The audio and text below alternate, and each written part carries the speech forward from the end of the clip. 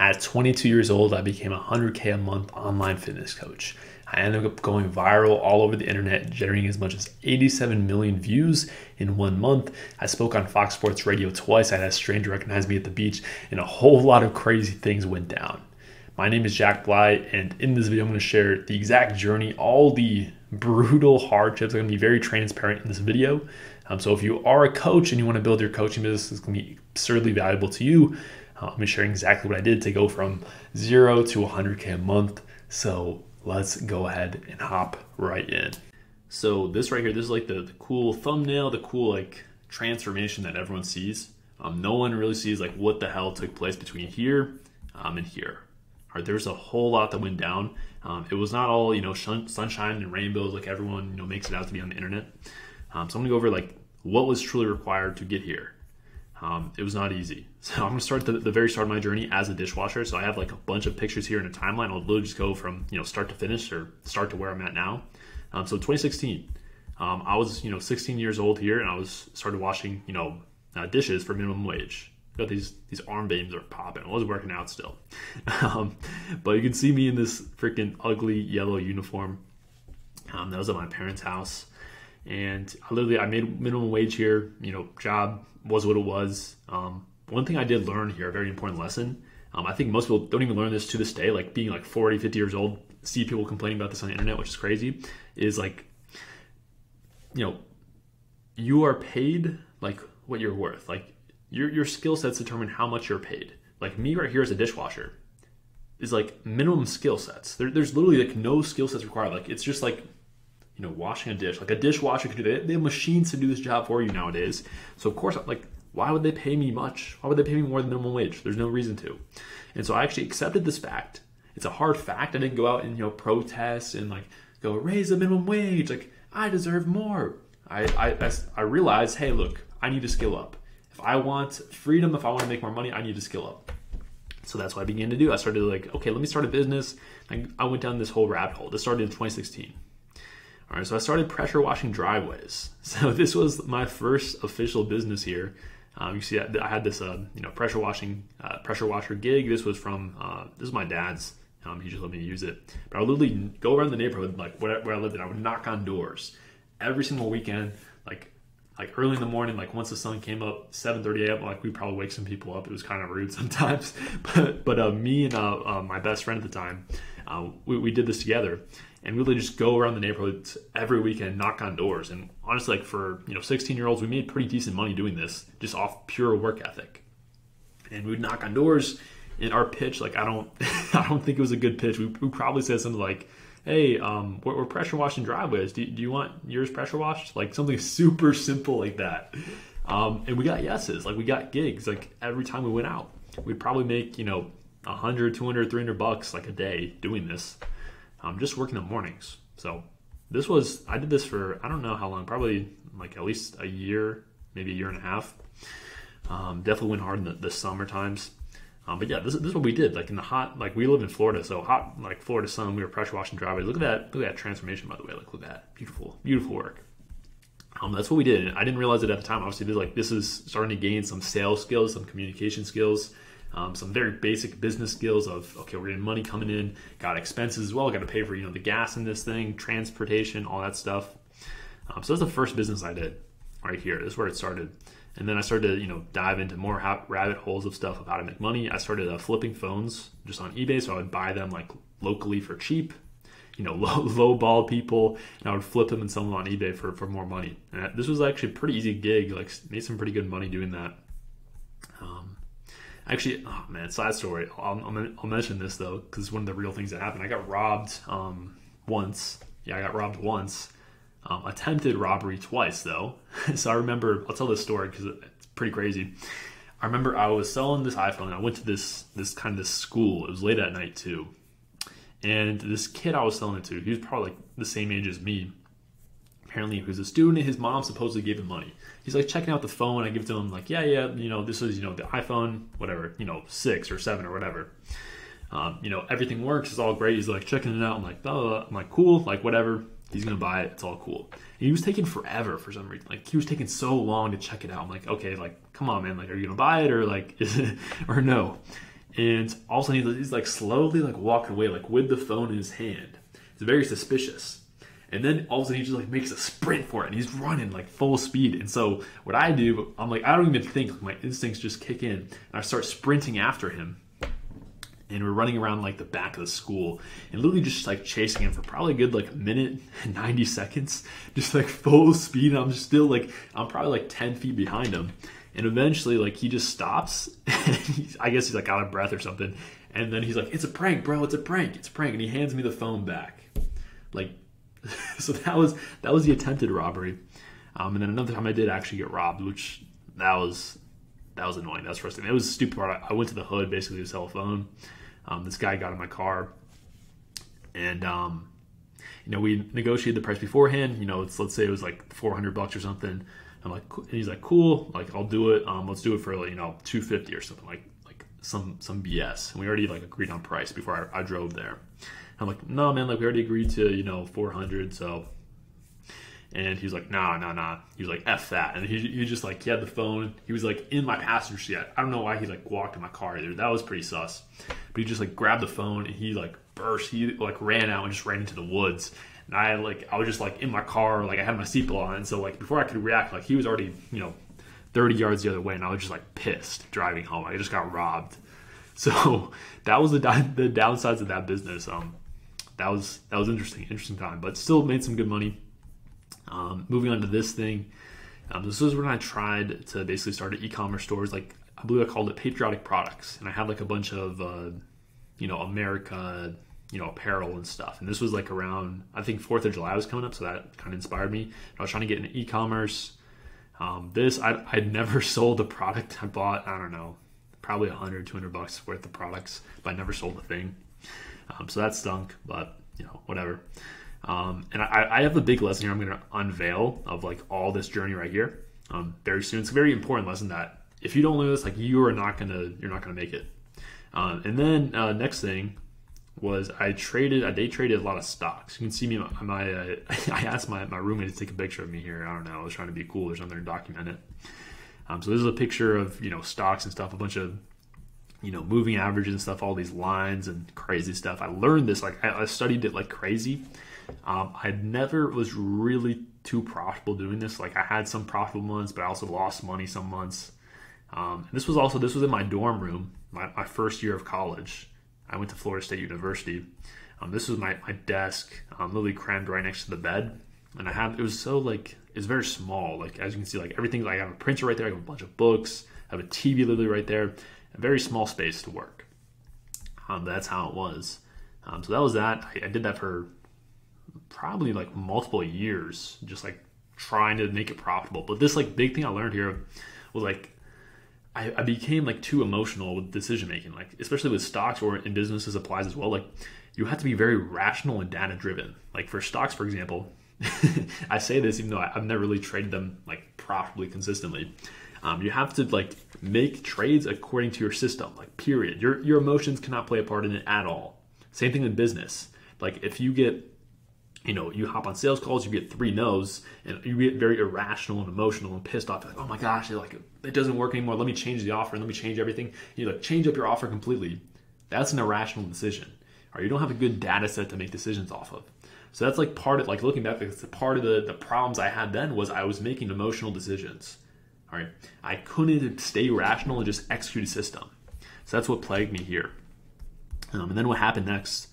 Um, I so this is my first year of college, and I you know started to drink and party a lot for the first time ever in my life. I was a pretty good kid growing up, but got into college and started drinking a lot. This is actually I was extremely drunk, and um, this is like me, uh, you know, slumped over on my bed. I guess I like threw up and stuff, and uh, basically the the RA, you know, called like I don't know campus police or something because I was like passed out or something. I was not responding, and um, I like my my roommate told me my my uh, suite mate. He told me that he was like yelling my name. I wasn't responding. He was like two inches from my face. He's like Jack, Jack, and I'm like not responding. So very dangerous and scary situation. I don't really I don't remember this at all. Um, anyways, you know, like ambulance came in, rushed me to the hospital, and um, I remember like flashes of this. I remember one thing that was kind of interesting detail um, was I remember basically like lying to the cop of. Like he was asking like if I drank anything, and I'm like, nope, nope, nothing at all. I was like, I don't know, I was lying because I was underage and I was trying to like, I don't know, be legal or something. And then the paramedics came and I actually told them told them the truth. So like I I knew like who to lie to and who not to lie to, but I don't know. Um, I, I went to the hospital anyways, had alcohol poisoning, um, and I just kind of slept it off um, and this actually was because I had um, antibiotics in my system. I didn't know you are not supposed to drink when you have antibiotics you're taking. So that happened, and I was I was really like pissed off and disappointed, and kind of like ashamed myself out of this um, for good reason. You know, I was drinking a lot, partying, and I ended up in the hospital. It was like just disgusting. Like started to become disgusting myself in that, and this is like this like slowly um, resulted in a change of like I want to get like out of this kind of like party environment. I want to you know, continue working my, on like business stuff and improve myself and like get freedom. Um, so this we'll, we'll, t- we'll, touch on that more later, but this really sparked like I need to change my environment and I need to like level up. Like this is not like what I value. I, I don't value like parties and stuff. Like yeah, it's fun, but I mean, th- there's more things to life than this. Um, next thing after that, I tried uh, drop shipping basically. So I purchased some watches and I did like photo shoots. Like I literally went to this canyon thing, really cool canyon spot. I think this is in Georgia somewhere.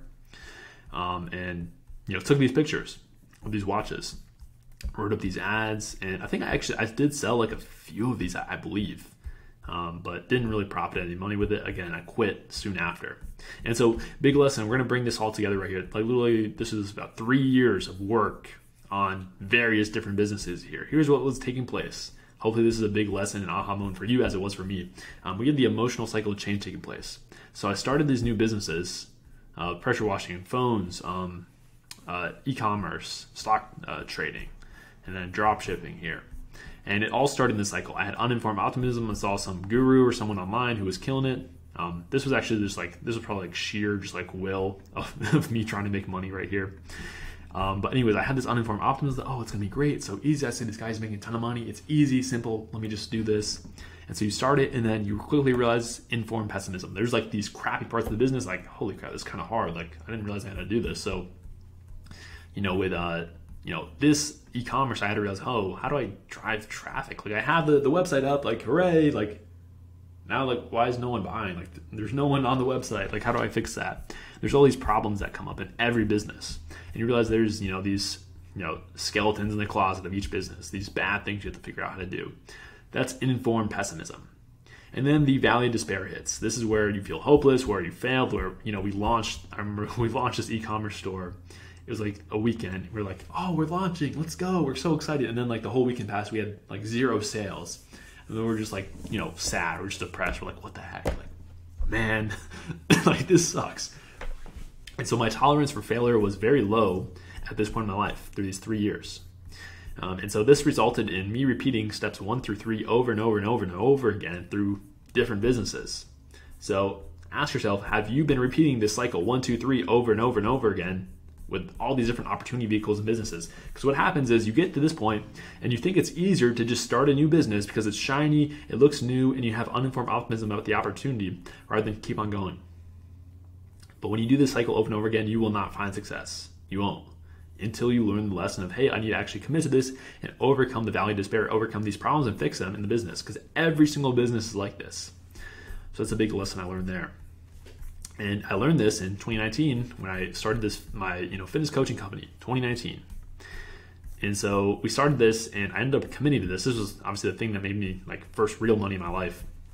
Um, committed to this for you know three, four years plus, and actually saw some results, but it took a really long time. So here's a picture of um, me and my business partner Gabe. Um, we started this business together, and we would literally go to um, this local community college that we live by we go to the study room literally like sun up to sundown, like every single day. Um, and we were like filming videos and stuff here, so that's why like all the books are stacked up and looks weird. So we were like filming videos and like ads and stuff. We were trying to figure things out, and we worked like our tails off. And I was abusing caffeine, like I was drinking a ton of caffeine, energy drinks, pre-workout. I, I remember I used to sip pre-workout throughout the day, like just like constantly.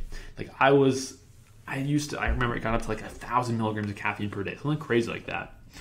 Um, so that was that time we worked really hard, and we actually like got very little results for 16 months. So for 16 months of time, 2019 through like 2020, like midway through 2020 or so, literally zero dollars in profit. Zero dollars in profit that we took home during this time period, which is just like absurd when you think about it. like it's a long time. Like most people, and definitely me, the old me, would absolutely quit. But I saw this somewhere. I saw this graphic. I, I, was I heard about this and I'm like, holy crap! Like I have to commit. I have to keep on going. I'm just gonna keep on going. I'm going to commit to this no matter what. I'm going to make this thing happen. Um, and anyways, um, we we did sign clients, but our business structure was very stupid. Where we had so many expenses. We had like a team, like coaches that did the coaching for us, and it was very stupid business model. But besides this fact, like we, I remember we started the business in I think it was May, yeah, May of 2019, like right after my birthday. And then September, so a few months later, we actually did sign our first client here. $69. His name was Tuffy. and I remember I was so excited. Like, this is like amazing. This is like, holy crap. Like, it's happening. Internet money. This thing is real. Like, we can do this thing. And I was so freaking excited that night. Um, I was on the phone with my business partner. Like, it just happened. And we were freaking excited.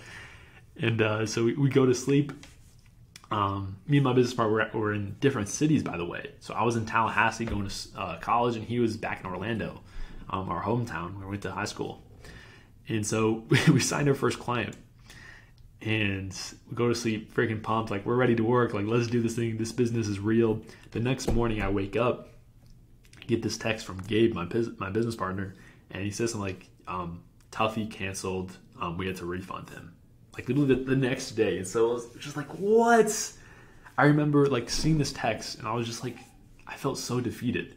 I, I was in the in the bathroom of my apartment. I just like collapsed to the bathroom floor and I just sit on the floor for like ten minutes, just like staring at the walls, like contemplating like what the heck. Like we just worked for what is this like four or five months. Our first client finally signed and you know now he's refunded so that was a huge, like huge setback, at least mentally. Just felt so defeated, but you know, we kept on going. This is our website, our first website that we had, by the way. We thought a website was so important, which by the way, it's like it's definitely not. Like, do not even worry about a website. If you're just starting your coaching business now, like don't even don't build a website. It's a waste of time, waste of money. Um, yeah, that was that was one of the first stories I, I remember. Um, and uh, flash forward 2019 to like 20 like the first ounce of success was like probably like 2021 was when things started to uptick. That's when I, I remember I made my first you know 10k month. I actually brought in 10k I felt so rich. I felt like I felt like the man. I was driving in my, my 2004 Honda Accord blasting music. I, I, I, felt so good man. I remember that. Um, but yeah we just continue to work continue to scale. Um, one of the big lessons I learned here which I have like a bunch of notes here, but the big lesson here is like investing in myself. So, like, big thing I did here. So we were 16 months in, and then one of the big aha moments was like, hey, like been trying to do this all myself, like all ourselves. Like we we don't have a business background. We ha- we don't have we know how to market. We don't know how to sell. Like we don't know business. So we started to invest in mentors. Um, and the first one we invested in, super scared, super skeptical, like this online, you know, business guy. He's built businesses before. So we, we paid the invoice, freaking scared. This like all of our money, and it ends up working out. You know, we this is the first thing that took us from like zero to you know 10, 20k a month in the business, and it was freaking massive. Like it was crazy, life changing. And so we we doubled down on that strategy. We're like, okay, we're gonna keep on skilling up, learning from others, learning from mentors. And so we end up investing in just a whole lot of mentors, like dozens and dozens of people. Here's a few pictures with um, a few of the guys. Um, and yeah, like doing this, like paid off just about every single time. There was sometimes we got burned, but most of the time, like guys are legit, and we really do learn some valuable skill sets from them. So it was a huge lesson I had. So don't try and do everything yourself. Definitely learn from other people who are ahead of you. Um, and then when the business really started to take off, I learned a lot about copywriting, marketing, and this was like actually like during this whole period, like 2016 through 2021, like I was kaizening, which kaizening means um, consistent improvement in Japanese, by the way. Kaizening is like a practice I, I do like to this day is like trying to block out time every single day to learn and to skill up. All right, so learning time basically every single day for what is this, four, five, six years. So six years of learning when I'm studying copywriting, marketing, psychology, all these things because I want this. I want this so freaking bad, and so I do this every day for literally six years. um, and so I, I finally become pretty decent at you know writing and copywriting and marketing so content wise, this is August 2022. I start to go really viral. This is on Twitter. 87 million views in one month. You know, gained 20k followers in that time, and my, my Twitter just started to really blow up. And you know, we grew um, grew my Twitter to and now it's at like 130,000 followers or so. Um, so it really blew up during this time. Business started to really boom, and you know, this is where things got kind of crazy um, and surreal to me. Um, we got invited to speak on I don't know if this is blurry, but this is um at the Client Ascension Co- Conference in Tampa, Tampa Bay. So they're like a big consulting company for a lot of entrepreneurs. This is you know me speaking on stage in front of 120 entrepreneurs. I'm talking about what we built. Uh, spoke on Fox Sports Radio twice, which was pretty crazy, pretty cool. Um, yeah, I remember that. My, my, my parents were really, know, they're really excited, really happy for me. Um, and then we hit 107K a month um, in 2023 there. So this is kind of like what happened. This is, you know, me at you know 22 years old this was very surreal for me and really crazy. But as you can see like this right here like people only see like the screenshot and they see like this after they see this cool thumbnail and they don't see like this arrow. They don't see what took place in this whole entire time period. They don't see this. And so that's why i'm making this video. I wanted to show you this like transfer like what the heck happened and the journey because it, it was a long journey. Like it's not just like it's not like a three month transformation, not a six month transformation. This is 2016 to 2023. That's, you know, what is that, seven years? Seven years of hard work. Now, given some of this time, I wasn't as focused as I need to be. Given some of this time, I was partying. But seven years of having this goal in mind, having this direction, having you know my my you know missile fired in this direction. I'm shooting the missile. I'm trying to get to the destination. All right, I'm traveling on this map. I'm following the GPS, trying to get there for seven years. It's a long time, man. It's not. It's not simple. It's not overnight, um, but it is so worth it. Um, and now, you know, now, uh, you know, what we've done with the fitness co- company, my team runs it now. So my team is growing. My team is scaling it. I don't really have any involvement in that, and I, you know, started another company now. You know, acquisition pilot, doing what I love. I also, whoops, can I zoom in here? Here we go also got engaged about two months ago at the time of this recording. I can only do that because I really do feel good financially. All right, I feel like I have freedom. I, I can I have the ability to generate a lot of income um, because of all this time period, this seven year, you know, I don't know what, what like what is the word I'm looking for? This seven year battleground, the seven year you know rocky cutscene phase where I'm freaking skilling up. I'm going hard. I'm fighting every single day. Um, that's what it took. And so now I'm, I'm engaged now, and I'm very excited for you know my future wife, future family to come. And that's only because of this stuff, because I've worked in freaking hard and Kaizening every day um, and learning these lessons along the way. Another big thing is losses equals lessons. So, like, mindset is huge. Like, a lot of people think, like, they'll start out thinking mindset is woo woo, and then they, everyone, everyone realizes how important mindset is. So, like, during all these years, I had to learn that losses equals lessons. So I had to I had to look, especially like when we really started this real company and really come into this for four years. All the losses, like there were so many losses that took place, so many problems that came up. You know, payment processors, um, ads shut down, blah blah blah blah blah. I can go on for years about mistakes and problems that came up in the business. But we had to always look at losses as lessons. Okay, this thing went wrong. Let me. What can I learn from this?